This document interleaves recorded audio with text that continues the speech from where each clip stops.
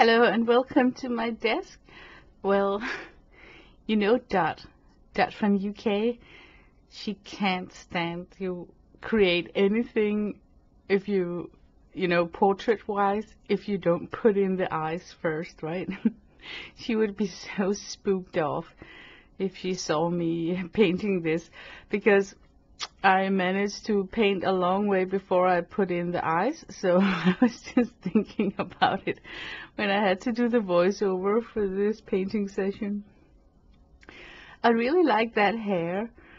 You know, imagine if she only had like white hair, but I'm gonna give her dark hair because she's gonna be part of the sisters, the sworn sisters. You know, if you got one, you have a single. You got two, you got a pair you got three, you have a collection, right? So I wanted to give myself like at least three pictures of this um, kind of strange looking women, not really knowing, uh, you know, who she is in the family tree. Is she the sister or I don't know. She looks kind of spooky. I actually had a situation right here where I'm painting where I could have made her into a granny.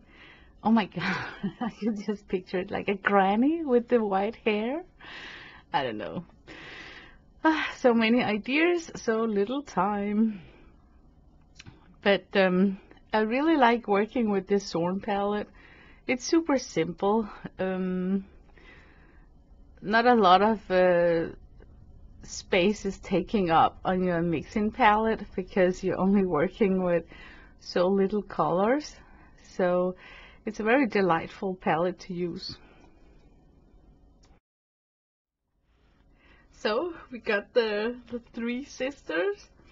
I cannot really touch them a lot because they are still wet. You know it's oil. I think she I, I, think about Cate Blanchett when I see her face expression. this one I like a lot.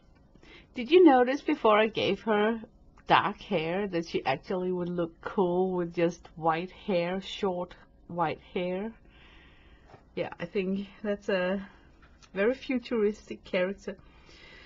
So, yeah, it was a good painting session. Thanks for watching.